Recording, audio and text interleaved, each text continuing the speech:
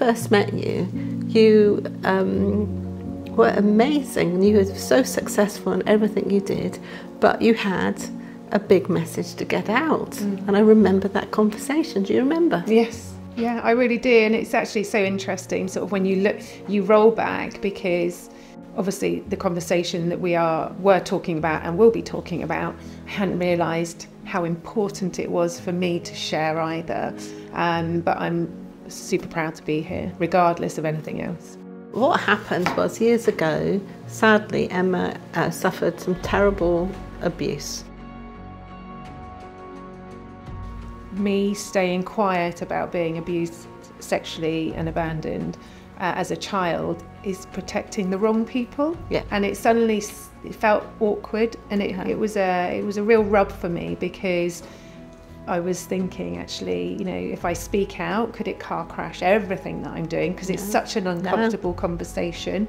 The, the balance tipped in favour of speaking out because I felt that if I could give someone some hope through what I'd gone through, and to protect children because of what I'd gone through, yes. um, then it would reduce maybe um, child sexual abuse for some children by bringing an awareness into people's lives and, and, and a conversation that really people don't still want to hear because it's so uncomfortable and horrible, but it's the reality for so many children.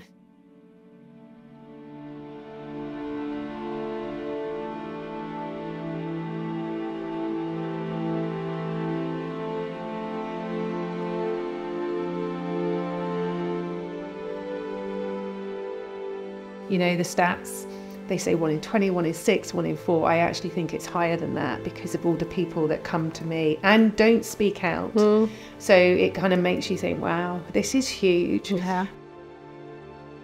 Back in the day, the first time I met you was all to do with your brand story. Mm. Uh, and I remember Emma came to me and we started something called a clarity and direction model.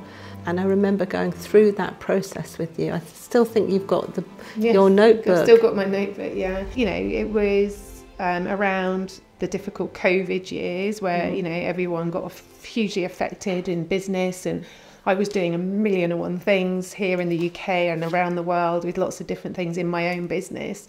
It felt a bit of a muddle actually by having that conversation where I felt that I could be pulled up and go okay let's shake that about let's get rid of all these other things mm. and and and here is your uh, your business and actually your your voice is now going to be forming part of a different awareness and campaign um, and it and I felt so much freer then because it felt like, like my my journey was going down new lanes new paths and it felt just so good to be doing that you know yeah. it felt so good it felt kind of holier than thou kind of thing that I was like, okay, I'm where I want to be with my businesses, performing arts, working with children. Mm. That's my passion. You know, mm. my real passion is performing arts, as is well-being and fitness and and all those other wonderful things are wrapped around that.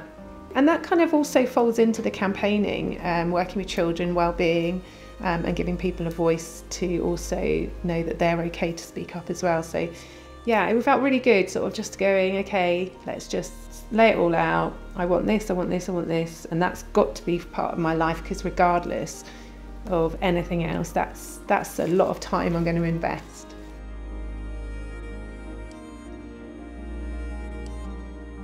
It's fun. it's fun. Uh, you go into uh, the depths of conversations that I hadn't considered before were important actually um, and made me think about things that I hadn't even thought were relevant. And actually, even though I might not have used them at that time, I realise now, fast forward, that I'm using them, you know, in the work that I'm doing. So, you know, we I had a, created the scrapbook. The work that we did, there was lots of it. Um, and you know, you close that book, and then the logo comes. You're like, okay, let's see what happens. And now you're seeing actually a lot of this book is being used. It's been really fun, it's been deep, there have been some emotional times because of the subject matter. Um, but I've always felt very safe uh, and very protected by you as a person, regardless of business, because I, you know you are a very caring person, um, and I know that that has been the, one of the most important things for me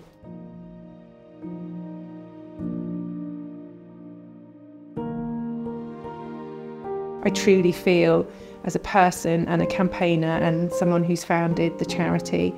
Um, a lot of good work has already been done, and that has to be celebrated, right? Absolutely. people are being looked after. Absolutely, and I also think it's really important uh, to talk about it more and more because you know you welcome those conversations when you know you might be in the gym and somebody comes Yeah. up and talks Oh. to you, or you just might be, I don't know, somewhere and somebody says something and People they have stopped me in the Yeah. streets. They've run after me down the streets to the Yeah. point that I'm thinking, "Oh my goodness, they, Yeah. what do they want?" And, and they're like, "I've just seen something that you've done, and I want you to know that I've gone through that, and you've helped me." yeah. Uh, So yeah, I'm learning all the time, Mm-hmm. um, and that's a good thing. So yeah, I mean, it's definitely been a trigger, right? This conversation that you Mm. and I had that one day, and here we are. Exactly.